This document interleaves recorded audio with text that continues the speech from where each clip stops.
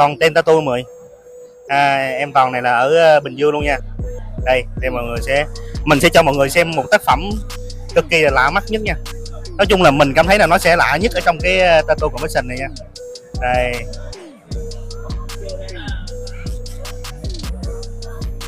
Đây là sự kết hợp giữa ờ, tả đá và màu sắc luôn.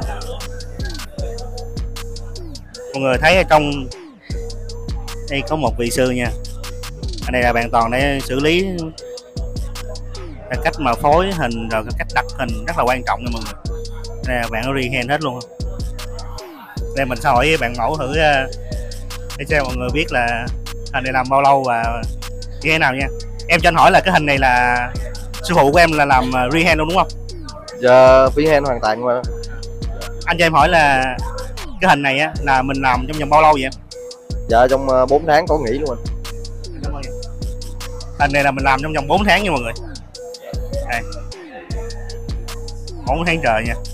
Mình nghĩ là chắc không phải là 10 lần xăm. Ừ. Nói chung là các bạn phải đi đi trải nghiệm ở ngoài thực tế. Các bạn nhìn cái hình đó thì nó nhìn mới đã con mắt. Rất là đã luôn rồi. Đây, ngoài ra bạn còn làm thêm những tác phẩm này nữa. Đây là full từ từ lưng tới chân luôn. Đây, mình sẽ quay cho mọi người xem.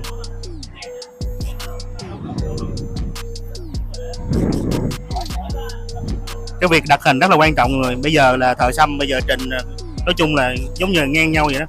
Nhưng mà cách đặt hình là rất là quan trọng luôn. Ăn nhau cách đặt hình nữa đây là tác phẩm mà đợt mà bạn toàn là có giải nha. À. mình nghĩ là cái hình này chắc cũng phải hai năm rồi đó. Nhưng mà nhìn về chất liệu da, chất liệu ờ, nó vẫn rất ok luôn. Đây, mình nhìn Our hearts beat to the city streets. We began to feel the fire. We rise like tall buildings as the chemicals they take us higher. The night's young and it's just begun she puts her hand in mine.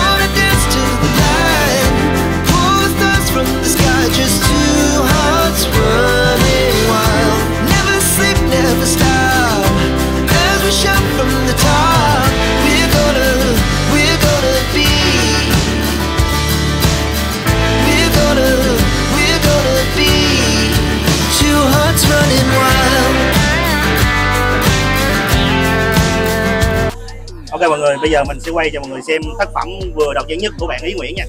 Đây mình cho đây. Đây là mẫu của bạn ý nguyễn và đây là bạn ý nguyễn nha mọi người. Đây là bạn ý nguyễn nha. Mình sẽ cho mọi người xem chi tiết tác phẩm này nha. Đây là bạn làm ờ, rất là tỉ mỉ luôn. Đây mình sẽ zoom lại cận cảnh đó là mịn đó mọi người.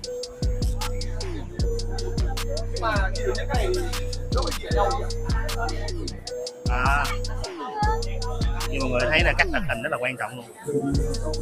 Bạn á, đặt hình em ra ở trên nè chỉ thằng ở giữa nè. Đây là lúc mà Chúa Chúa Giêsu sinh ra đời nha. Bạn nào mà đạo tôn giáo là tấm hình này là hết bài luôn.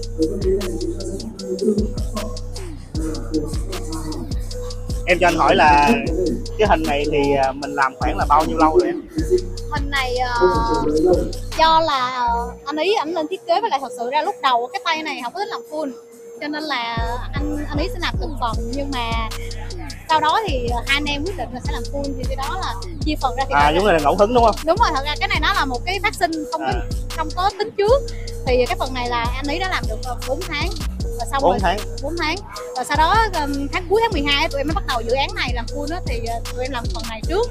Thì còn hình trong đây thì mới làm khoảng được một tháng tháng mấy thôi. Ờ. thì hai anh em là từ uh, cuối tháng 12 bắt đầu vô dự án là Ừ. làm liên tục liên tục để cho cái hình da nó hồi phục lại để kịp thời gian đi thi. Luôn anh thấy là có có mấy bạn nữ theo anh á nên bây giờ anh sẽ hỏi thay mặt các bạn nữ luôn nha.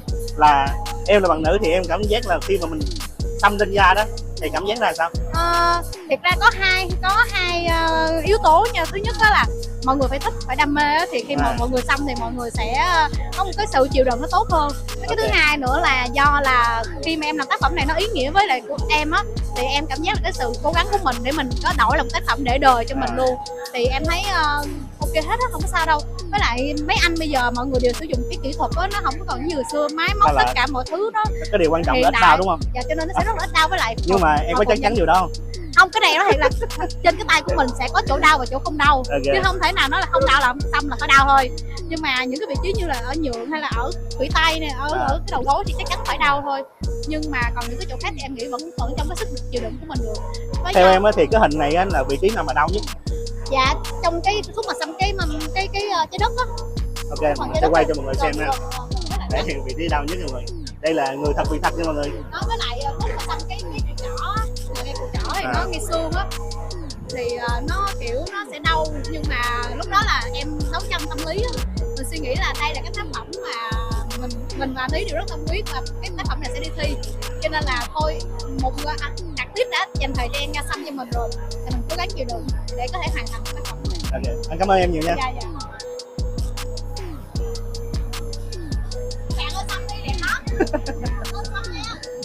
Đây là lời nói thật lòng của bạn nữ luôn nha chứ không phải tự mình nói cho mọi người đây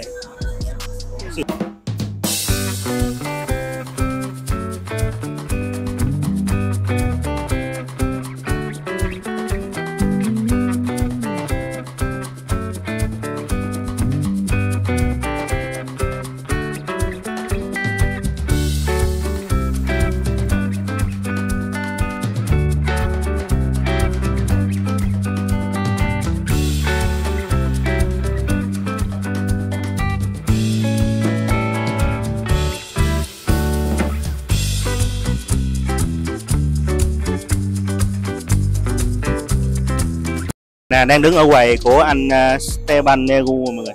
Đây mình không biết mình nói đúng tiếng Anh không? Đây là cái quầy tên của anh đó nè. Đây mọi người quay lên trên à, anh là của team Chine ha.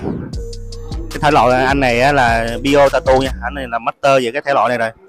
Đây mọi người cùng xem những tác phẩm của anh nè. Mình nhớ không làm thì những tác phẩm này là anh có làm rồi trên da luôn á. Này rất là sắc nét mọi người.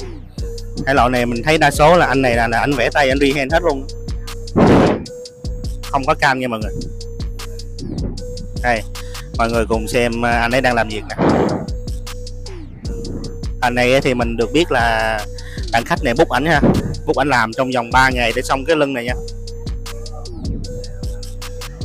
Thì hai ngày rồi thì mình cũng gần full lưng rồi đó.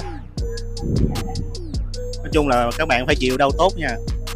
Thể loại này là hơi bị đau luôn á. Đó là coi cách anh ấy bào nè em vô em vô trong quay cho mọi người xem một xíu à đây và học trò mình sẽ vô uh, quay cho các bạn xem.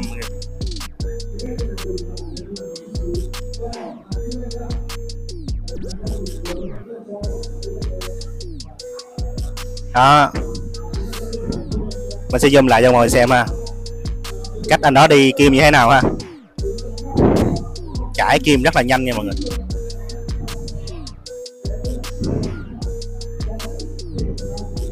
Bạn mà, bạn khách này là chịu đau hơi bị tốt luôn á.